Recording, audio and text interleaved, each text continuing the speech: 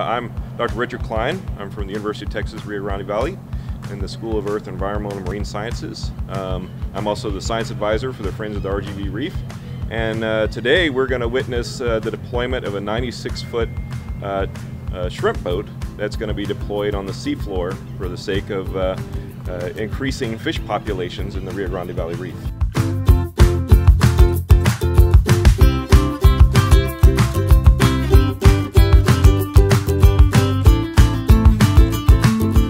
Taken about six months to get this boat cleaned up. It's uh, mainly done by volunteer work. Um, uh, they've had to clean all of the oils, um, a lot of the wiring, and some of the paint has to have come off the boat to actually get it ready to put on the seafloor because we can't have these items on the seafloor with the fish. So even though uh, boats are probably the first types of artificial reefs that were ever deployed, um, they are very hard to clean and very expensive to clean.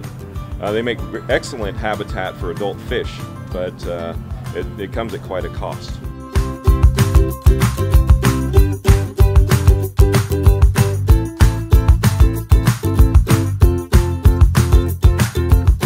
Well, so the Rio Grande Valley Reef is very special. It's the largest artificial reef placement on the Texas coast. It's 1.2 square miles.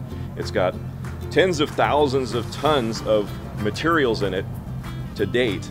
And this will be the largest boat that's been sunk out there to date as well, about 30 feet longer than any of the other two boats that are out there.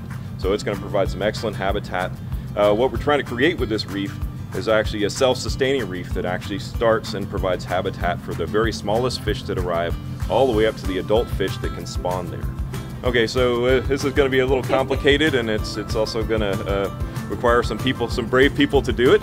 Um, what's going to happen is they're, they're, towing the boat out there. There's two, two boats actually uh, towing the boat out there. Once we get there, they're going to put three inch pumps on the boat and those are actually going to pump seawater into the boat to, to fill it up to help it sink. But before it sinks, they've got to get those pumps back off the boat and actually follow it down. And then we've got divers that will go down there to retrieve the marker buoy and the buoy that's supposed to keep the boat upright as it settles on the seafloor.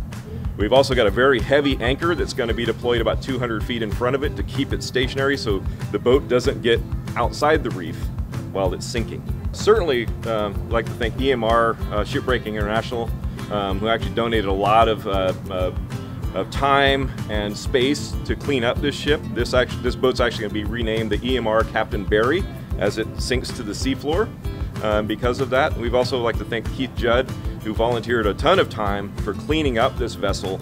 Um, it took about six months of volunteer time to actually clean it up before it was ready to deploy on the seafloor for everybody to enjoy once it settles down there and they can actually capture fish off of it. Um, so yeah, the, uh, this project, um, this entire RGV, RGV Reef project uh, encompasses tons of human hours and uh, donations to get this almost 100,000 tons of material on the seafloor to date. We'd also like to thank very much um, uh, Dale Shively from uh, Texas Parks and Wildlife Artificial Reef Program, who actually was the one that had to get all the permits and get everything set up to actually establish the RGV reef, um, and all the donors and, uh, and other people that gave time to actually put these materials down and donate the time to actually get the materials on the boat to put them down. Um, I think this will be a, a great reef for decades to come for people because as I said, we've got habitat for juvenile fish. We've placed them out um, with the best science uh, available to actually have habitat for juvenile fish, intermediate fish, and adult fish there to complete their life cycles.